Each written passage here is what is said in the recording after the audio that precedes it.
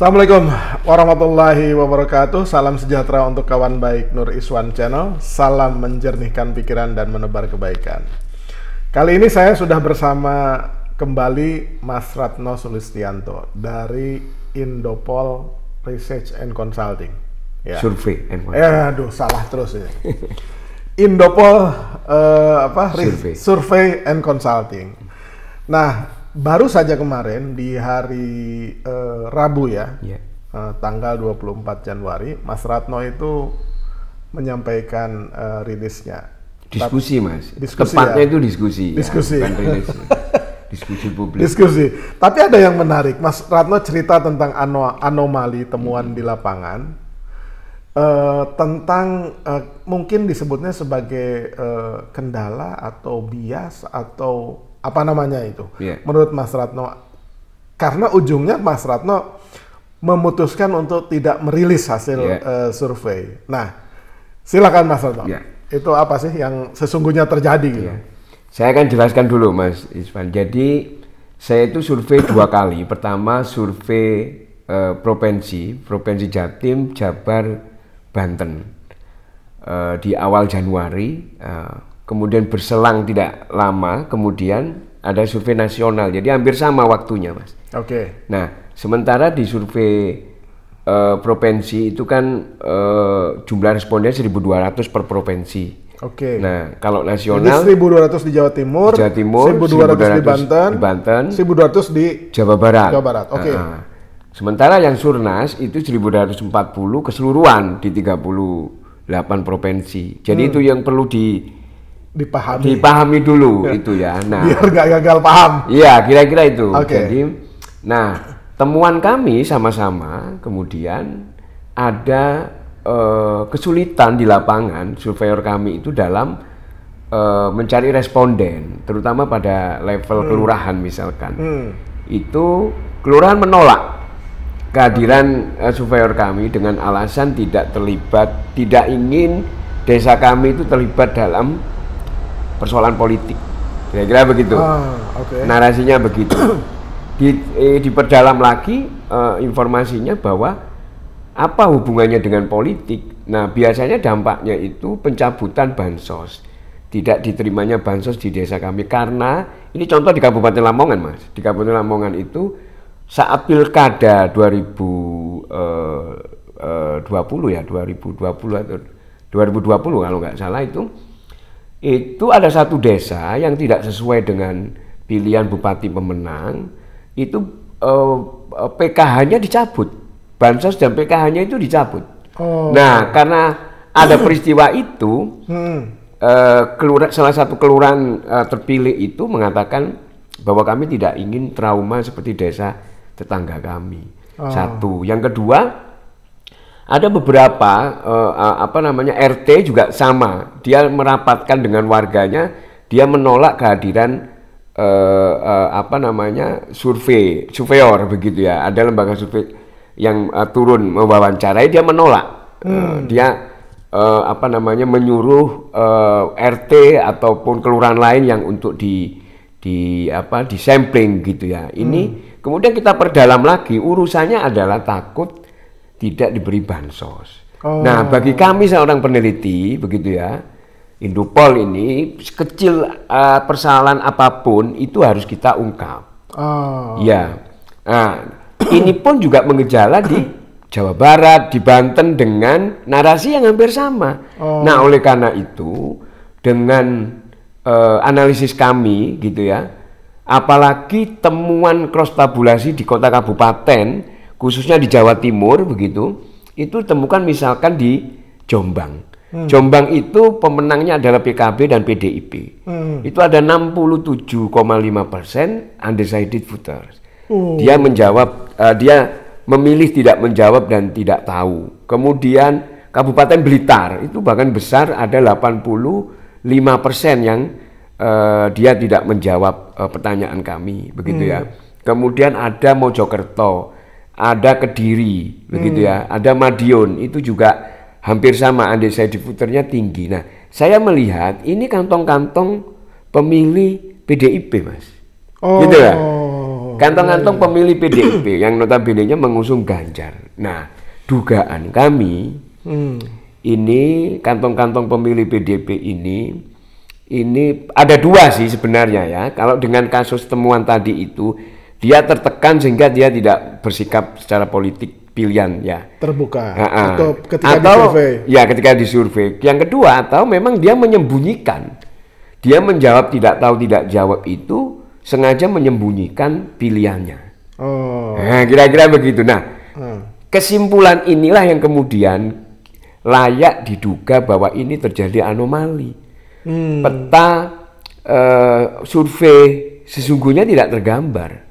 Hmm. Makanya itu uh, karena dalam waktu bersamaan di Surnas dan juga hampir sama temuan-temuannya begitu ya di di survei di survei nasional. Uh, ah. di di di mana di nasional juga oh, di nasional persoalannya juga. juga hampir sama tapi kan uh, random ya ininya kota uh, apa namanya kota terpilihnya kan random itu tidak keseluruhan uh, kita hmm. potret hmm maka kita simpulkan hasil uh, survei nasional kami juga patut diduga ada anomali perilaku pemilih. Makanya kami tidak rilis. Oh, Kira-kira begitu. Oh, gitu ya. Uh, nggak didalami lebih jauh ditanya gitu. Uh, apa apa sebegitu khawatirnya masyarakat hmm. itu mengisi pertanyaan atau menjawab pertanyaan gitu. Yeah apa, nah, apa kekhawatiran dan kecemasan itu tinggi sekali? Justru sebetulnya saya ini mengungkapkan hal ini ini untuk perlu ditindaklanjuti oleh teman-teman yang memang konsentrasi di pengawasan pemilu. Kira-kira kan begitu. Oh, iya iya iya. iya Kira-kira iya, begitu karena iya, iya, kami iya. hanya meriset persepsi publik saja kan ah, begitu ya. Ah, iya. Nah, perkara nanti itu per, uh, perlu diperdalam menurut saya memang ada pihak yang lain karena itu bukan tugas kami mas gitu ya. Oh. pertanyaannya gini ada kemarin media loh mas berarti yang disurvei itu uh, orang-orang yang memang tidak yang menolak tadi? Bukan karena di teknik uh, di metodologi kami ketika itu tidak kita tidak mendapatkan uh, responden pertama itu akan di random lagi untuk mendapatkan responden kedua. Dua tiga bahkan sampai uh, mendapatkan responden. Artinya hmm. firm yang kita wawancari itu adalah yang sudah terpilih karena mau menerima, kira-kira begitu ya. Menerima, Tetapi menerima uh, kehadiran ya, ini enumerator. Uh, enumerator. Meskipun catatan-catatannya adalah bahwa ada situasi uh, seperti yang saya sampaikan tadi hmm. terkait khususnya itu bansos dan PKH.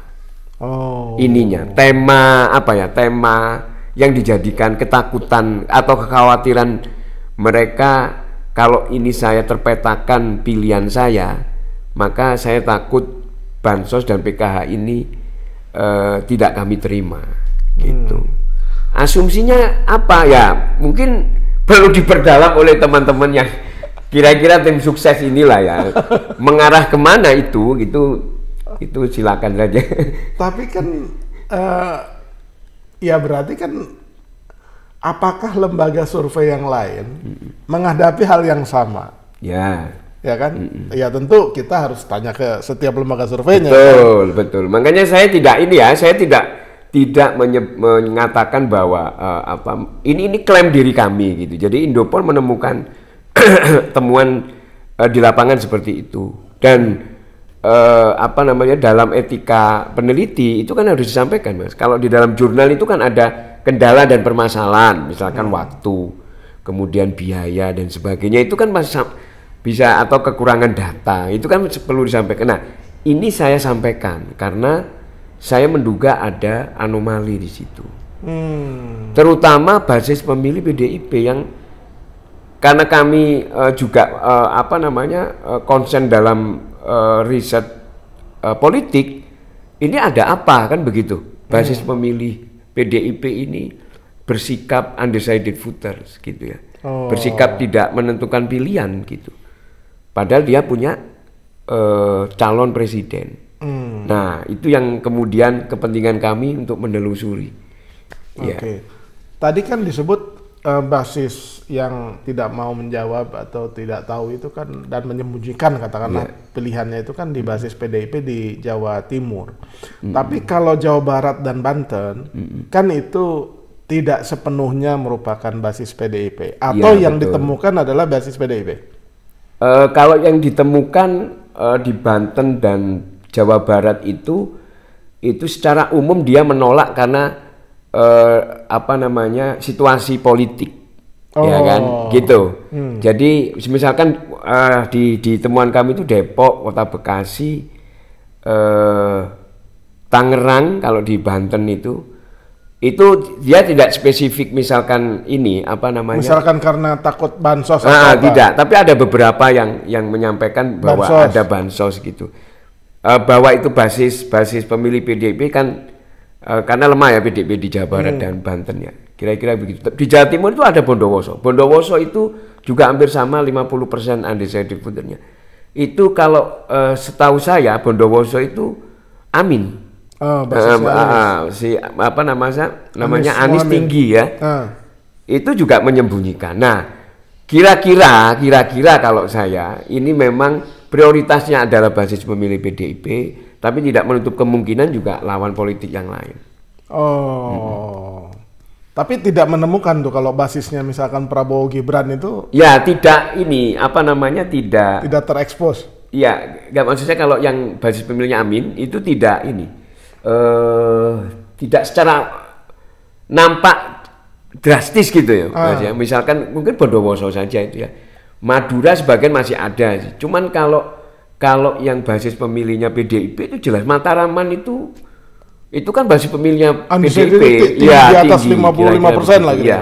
Kan survei hmm. survei apa uh, di Jawa Timur kami itu uh, periode awal Januari itu undecidednya tinggi, Mas. Hmm. Uh, sekitar sekitar 28-an ya, 20. Hmm. Nah, 20 itulah yang kemudian menggambarkan basis pemilih di Matraman.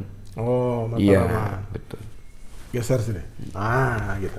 Nah, Berarti kan karena anomali ketika uh, uh, apa survei, hmm. berarti hasilnya nggak ada ya, artinya dianggap tidak ada hasilnya. Uh, untuk ke, uh, kepentingan internal mungkin bisa dibaca ya mas ya bisa di internal di Indopol. internal Indopol ya itu bisa di di apa namanya dijadikan pegangan ya uh, kan ada variabel-variabel yang lain ya variabel-variabel lain ini yang saya tidak rilis kan hanya elektabilitas. Oh. Nah, elektabilitas capres, cawapres dan partai politik. Oke. Okay. Karena memang hal itu yang menjadi sensitif. Iya. Hal yang sensitif di, di, di, di ini di, di apa di, di responden, ya juga begitu. Kalau misalkan dia ditanya apakah uh, Bapak Ibu uh, apa namanya uh, suka dengan baliho atau uh, kampanye apa yang paling disukai gitu ya kegiatan okay. itu kan nggak ada hubungannya dengan kira-kira keputusan politik dengan bansos lah gitu ya oh, iya, iya, iya, iya, iya. atau dia kita tanya pekerjaannya apa gitu ya kemudian bahkan mungkin ini apa namanya uh, ini kan saya ambil tema besar itu kan faktor peubah pilihan mas oh ya ah. jadi satu kita memotret debat kita ah. memotret visi misi, ah. kita memotret uh, apa bansos, kita memotret intimidasi aparat, okay. uh, uh, apa, sejauh mana itu bisa merubah.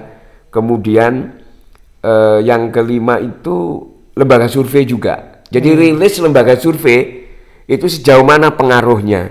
Itu oh. juga saya, saya saya ada datanya. Kalau itu tidak saya tidak saya tutup. Oh, mm -hmm. itu udah dirilis? Sudah dirilis, sudah didiskusikan kemarin. Oh, Oke. Okay. Uh, ada di di Jadi, slide ada. Apa aja yang kemudian uh, Mas Ratno rilis dan apa temuannya? Ya, pertama faktor peubah pilihan ya di apa namanya uh, periode pertengahan Januari itu hmm. yang tinggi itu 56% itu mengatakan karena visi dan misi uh, capres cawapres lain lebih baik.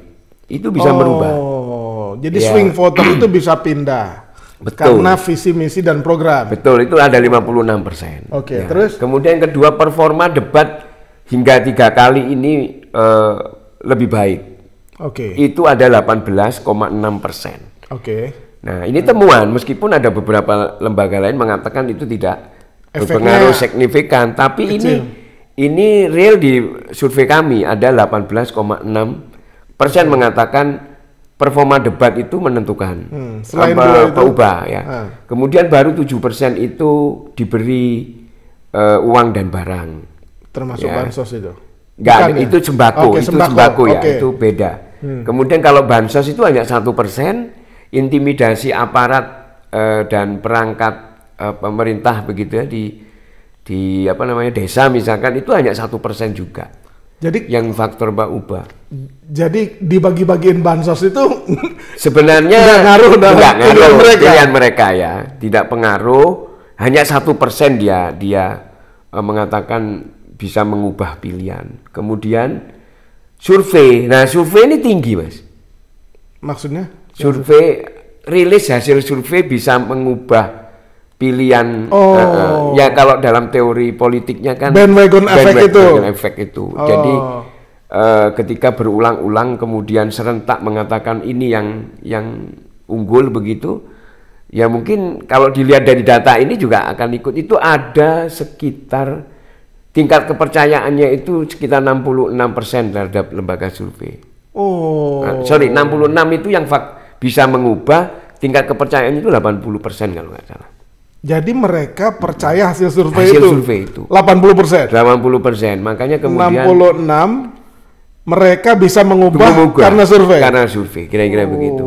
Enak. Nah, sementara kalau debat itu juga dari 70 yang 70 persen yang tahu dan mendengarkan debat itu sekitar 60 itu bisa mempengaruhi juga. Oh, Oke. Okay. Mm -hmm. Ini nanti ada datanya. Oke. Okay. Berarti ya uh, kalau lihat data-data Mas Ratno dan hmm. Indopol itu, berarti pendidikan politik hmm. melalui visi misi program yang disosialisasikan, hmm. hmm. melalui debat, hmm. ya melalui survei, hmm. itu menjadi referensi mereka. Artinya kesadaran politik atau eh, apa ya animo masyarakat dalam memahami politik sekarang uh, semakin baik dong. Kira-kira begitu mas. Cuman tadi itu yang saya disampaikan ya, ini kok tidak linier dengan pilihan uh, preferensi capres cawapres mereka. Kira-kira begitu. Hmm. Kalau melihat angka uh, elektabilitas, maka saya menduga ini ada anomali mas. Oh. Jadi satu sisi dia uh, apa namanya lebih cerdas di dalam apa uh, melihat persoalan politik, tetapi ketika memilih siapa yang layak untuk uh, menjadi presiden, hmm. itu ada semacam uh, apa namanya tidak konsistensi lah gitu ya. Oh. Jadi ya itu nampak dari hasil survei beberapa lembaga survei yang ada dan di, di, di kami pun hampir sama. Jadi uh, kenaikannya signifikan begitu tinggi. Nah saya curiga karena dalam satu bulan dalam uh, kurang lebih dalam uh, apa uh, pemilu misalkan ya pilkada itu kan kecuali ada sesuatu yang luar biasa hmm. itu 10-15 persen bisa. Tetapi kalau masih normal-normal saja itu nggak ini menurut saya nggak apa namanya nggak sampai lah dalam satu bulan itu kenaikannya sampai, sampai 10-15 persen begitu. Kira-kira begitu. Ya berarti Mas Ratno nggak yakin dengan angka lembaga survei lain yang kenaikannya terlalu tinggi itu? Nggak tapi ada beberapa uh, apa lembaga survei yang naiknya juga memang angkanya sudah sudah tinggi tapi di dalam apa tren survei sebelumnya kan terlihat. hampir sama gitu okay. nah, makanya kesimpulannya ada yang stuck gitu. Oh. tapi ketika ada orang yang mengatakan mungkin itu uh, periode surveinya jauh begitu ya mas. Oh. Periode survei yang sebelumnya jauh sehingga ah. naiknya cukup signifikan gitu. Okay. Terus temuan apa lagi survei kemarin yang menarik tuh? Uh, ya kalau saya sih kalau di dalam temuan uh, variabel surveinya uh, menurut saya uh, anomali dari sisi ini aja ya dari sisi oh, itu tadi ya okay. uh, apa uh, variabel terkait faktor peubah pilihan itu kok tidak linear dengan pilihan hmm. capresnya gitu okay. ya. Kemudian kan, uh. selain temuan yang di Jawa Timur itu yang sebetulnya menarik. Oke. Okay. Ya ketika di cross tabulasi ada apa uh, wilayah-wilayah yang undecided voternya tinggi. Oke. Okay. Kan tadi Mas Rato mensurvei tentang pengaruh debat. Mm -hmm. Kemudian pengubah pilihan. Mm -hmm kemudian apa lagi tadi itu? Kepercayaan lembaga kepercayaan survei. lembaga survei. Hmm. terus apa lagi tuh uh, itu saja. Itu ya?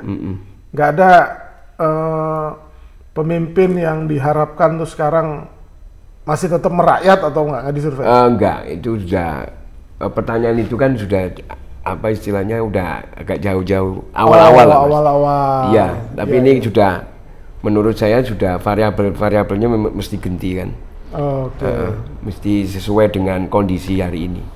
Tapi dari survei di tiga provinsi tadi ya, kemudian Jatim, Banten, Jabar ya. Jabar. Oke. Okay. Kemudian Surnas, walaupun ada data-data mentah, mm. bisa dong simpulkan kira-kira pilpres per pengamatan lapangan di bulan mm. Januari ini itu berlangsung satu putaran apa dua putaran? Ya, hampir semua kemarin teman-teman media juga nanyakan itu ya. uh, begini, saya juga dilematis juga ya ketika saya mengatakan bahwa ini ada anomali, tapi dari satu sisi lain data itu tetap saya pakai gitu ya. Tapi nggak apa-apa ini sekedar informasi aja mas. Meskipun itu ada dugaan anomali, angka ketiga capres ini masih belum ada yang dominan. Oh. Ya masih belum ada yang dominan, terutama yang 50 plus 1 itu nggak ada.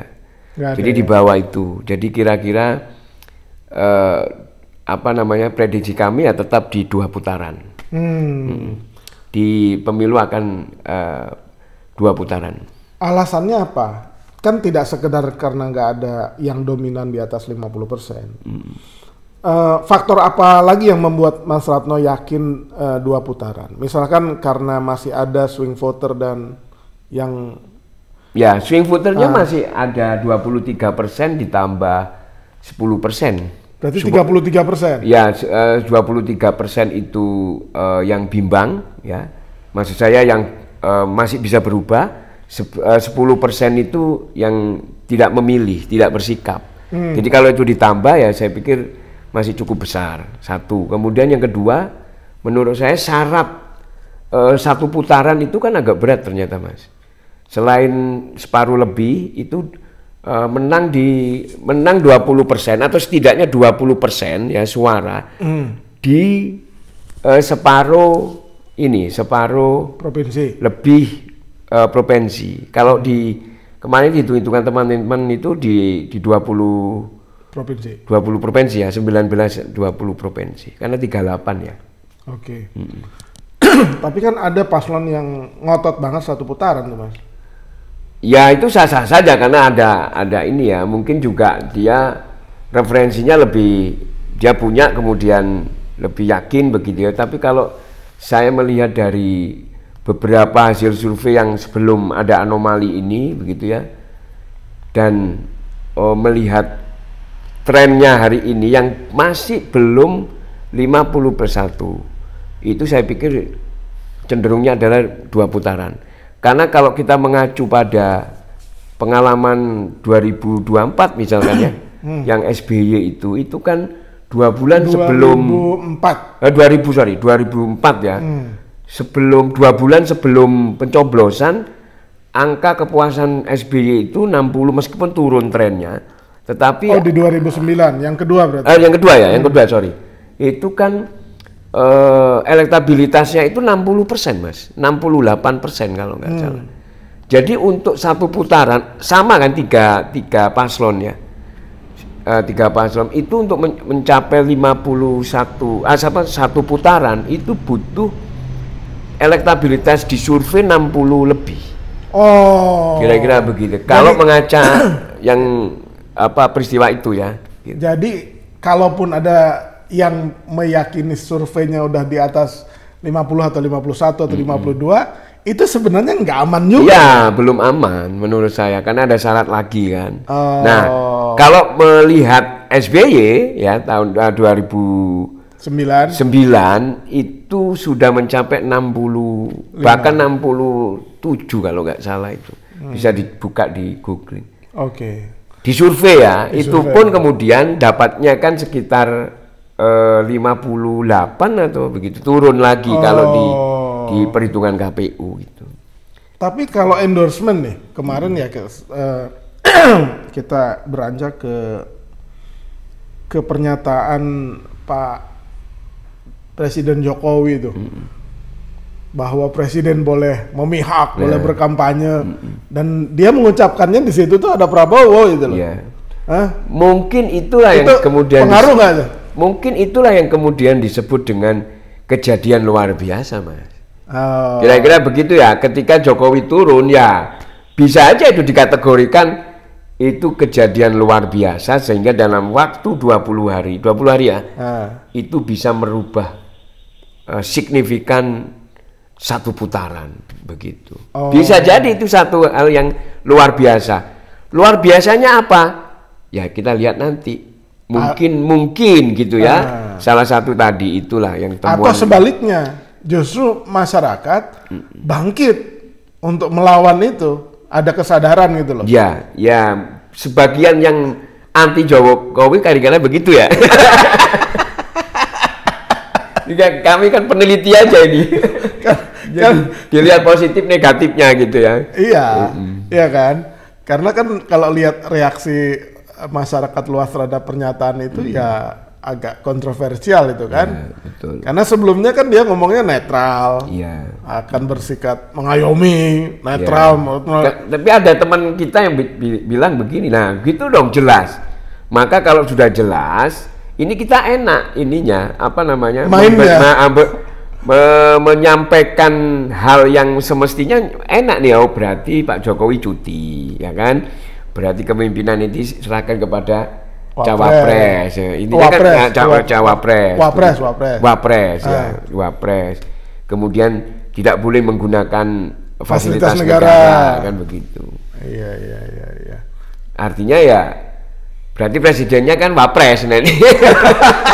Ada yang bilang begitu ya itu ya tafsir kan, ya. ya kan satu fenomena kehidupan ya. apalagi politik kan bisa ditafsir dari berbagai segi hmm. Mas Sato tapi untuk mengetahui itu semua apakah pernyataan dia pakai seragam angkatan udara itu ngefek atau enggak ke masyarakat atau mendapat perlawanan itu kan ya harus survei juga. Ya, kan? kalau melihat angkanya ya mesti survei lagi. Mudah-mudahan sih, mudah-mudahan nanti saya akan tetap me, apa namanya menyampaikan ketika memang masih tetap ada temuan intimidasi seperti itu ya saya akan sampaikan jujur, kira-kira begitu. Oh, bahwa okay. survei itu uh, penuh dengan tekanan misalkan. Oh. Gitu. Enggak ditanyain tuh ke responden, apakah ada intimidasi?